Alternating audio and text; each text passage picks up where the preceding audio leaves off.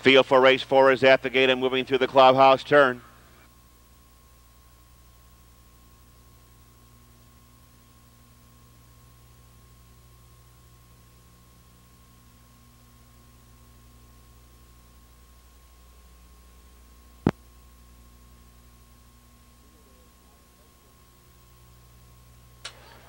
Field is now in motion.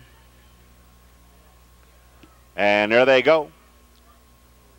They're often pacing. KG Jake between horses takes the lead. Rambo Lane alongside Noble Sam, the favorite, benefiting from third. King of the Blues is next, followed by King in the Pants.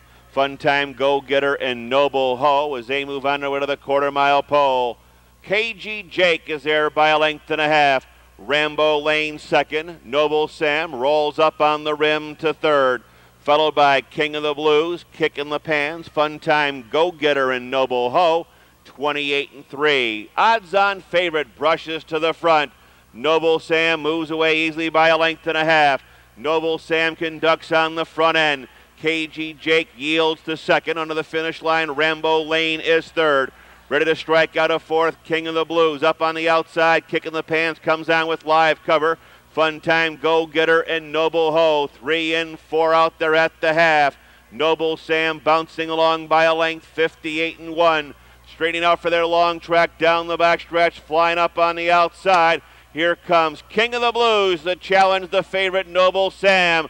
Noble Sam digs down deep. He's there three parts of a length at his wheel disc in second, King of the Blues. Along the rail, KG Jake is third. Better take a long look at Kicking the Pans fourth. Far outside, Fun Time Go Getter fifth. Rambo Lane loaded along the rail up on the outside. Noble Ho by three quarters in 127 and 2. Around the far turn, Noble Sam leads the way. Kicking the pans, winds it up on the far outside.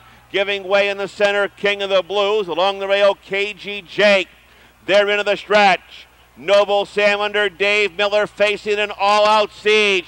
Cocked, locked, and ready to rock. Here comes KG Jake. But it's Noble Sam who's too good. Noble Sam, KG Jake, and kicking the pans third.